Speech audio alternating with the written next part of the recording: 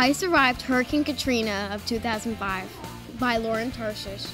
Barry and his family need to evacuate New Orleans. The most dangerous hurricane in the United States is coming for the people of New Orleans. Barry's little sister gets sick. They have to get back to their home. The hurricane strikes their house and floods the whole city. Barry is tossed around by the strong winds and waters of the hurricane. Help! He is separated from his family. Will Barry survive the hurricane? About 100,000 people stayed behind in New Orleans. The wind speeds of Hurricane Katrina could get up to 170 miles per hour. Will Barry ever see his family again? Find out I Survived Hurricane Katrina 2005.